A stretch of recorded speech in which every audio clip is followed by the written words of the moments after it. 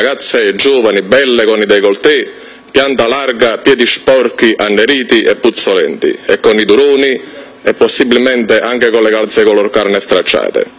E allora Peppe, corre voce che tu addirittura hai fatto il listino prezzi, cioè tu paghi le donne per leccare o odorare i piedi, facci capire come funziona. Io pago 50 euro per leccare i piedi mezz'ora, invece solo per odorare i piedi 10 minuti, un quarto d'ora, 20 euro. Cap- Ma quando lecco, quando lecco i piedi io faccio un cazzo di marmo.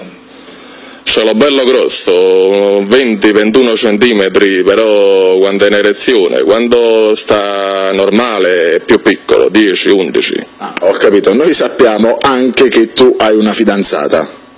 Sì, ho una ragazza in affitto da 5 anni, ci do 170 euro al mese e faccio sesso completo una volta alla settimana.